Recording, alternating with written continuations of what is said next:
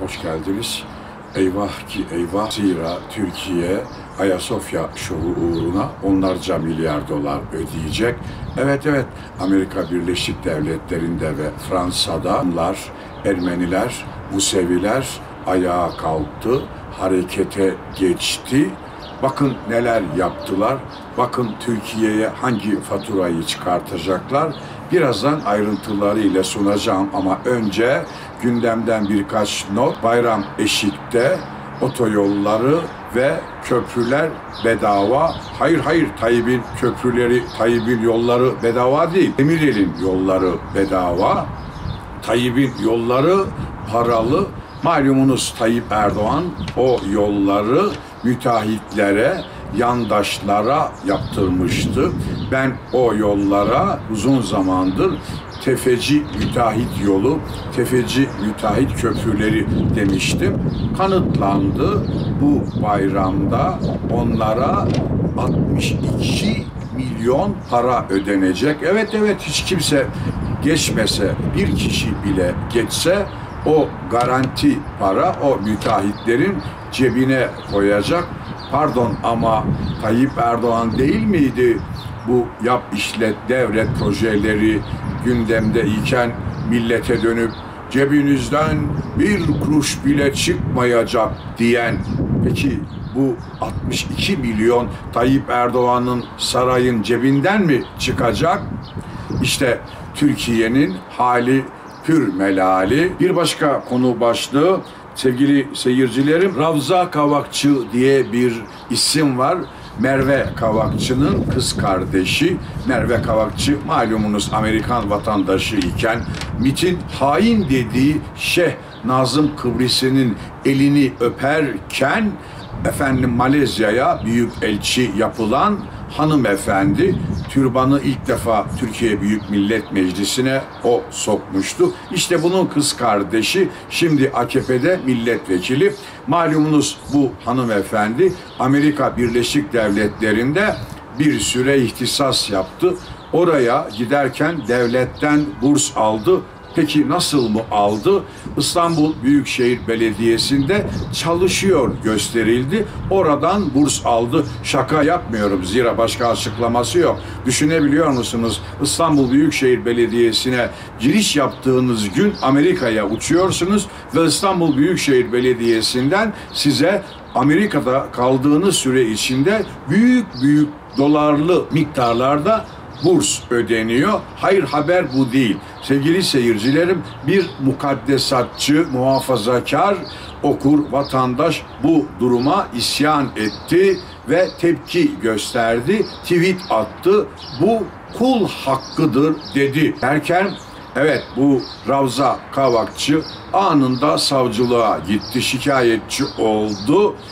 Polis gitti bu tweet atan vatandaşa özür dile belki vazgeçer dedi. Vatandaş dava söz konusu olunca hemen bir tweet attı. Özür diledi ve e, uzlaşmaya gitti konu. Uzlaşmadan ne mi çıktı? Ravza Kavakçı hanımefendi özür yetmez 10 bin lira para istiyorum dedi. Bu nasıl milletvekili? Bu nasıl mukaddesatçı? Bunda kul hakkı anlayışı nedir? Yorumu, izahı sizlere bırakıyorum. Sevgili seyircilerim, bir başka şey onu da aktarmak istiyorum. Yine gündemden korona olayını saklanıyor.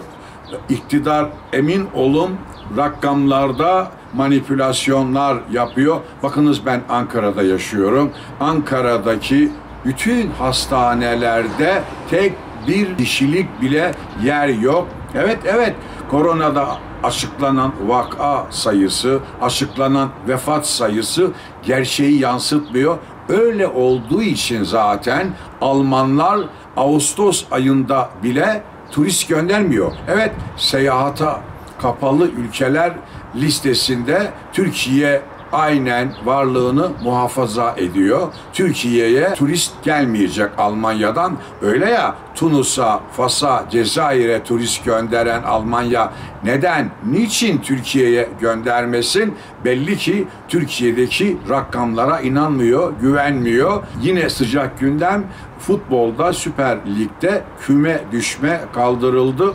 Pardon ama küme düşme kaldırıldı ise şampiyonluk neden iptal edilmiyor? Öyle ya eğer koronavirüs sürecinden etkilenme söz konusu ise bu etkilenme sadece küme düşen takımlar için değil, şampiyonluğa oynayan takımlar için de geçerli.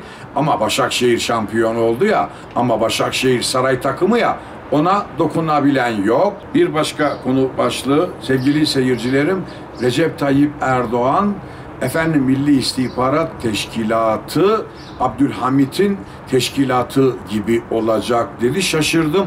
Abdülhamit'in istihbarat örgütü jurnal örgütü idi ve milli değildi. Evet evet padişahın şahsi istihbarat kuvvetiydi. Bakınız Milli İstihbarat Teşkilatı'nın internetteki sayfasına girin. Orada Abdülhamit'in istihbarat örgütünün milli olmadığını okuyacaksınız.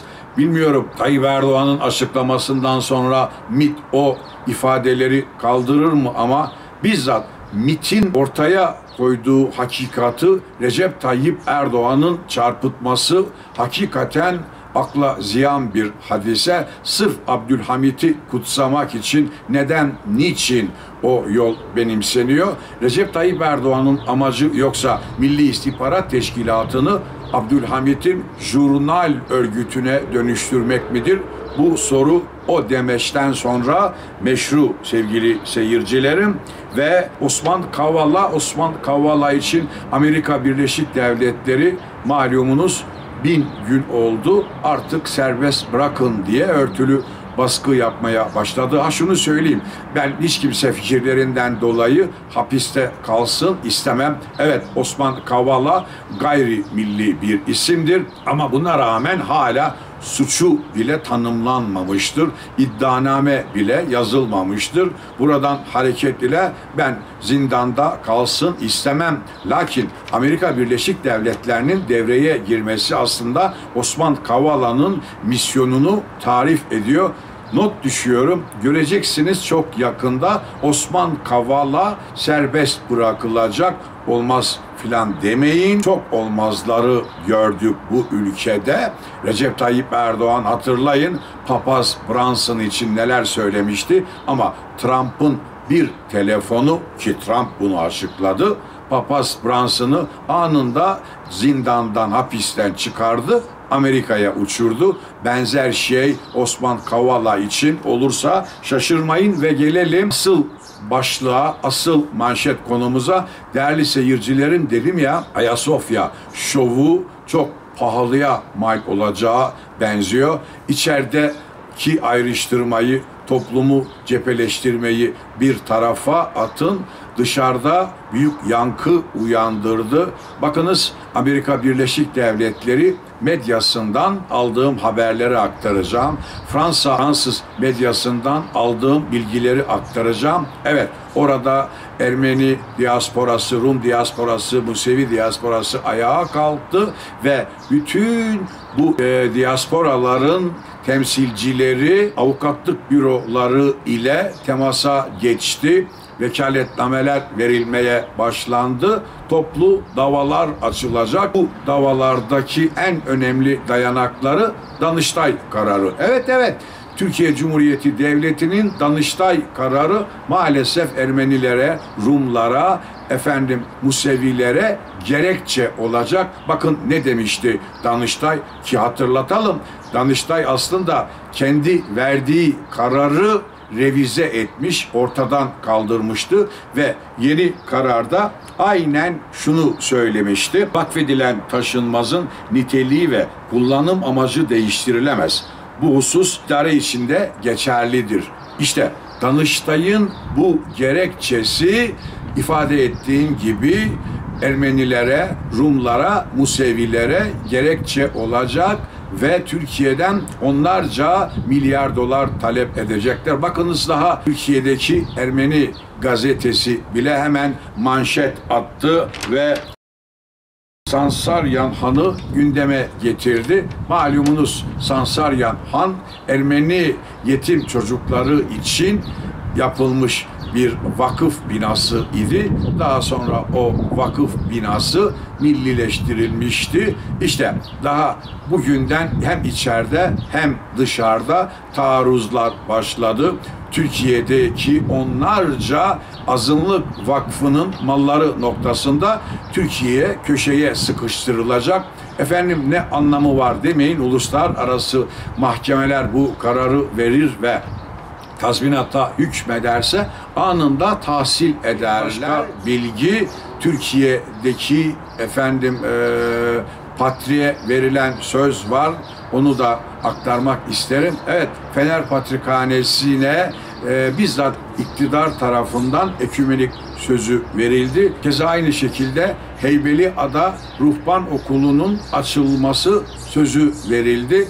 Yani görüyorsunuz bir şov uğruna AKP'nin seçmeni konsolide olsun denilerek ve de bilinçaltılarındaki İslamcı özlemler tatmin olsun diye Türkiye böylesine büyük büyük faturalar ödeyecek.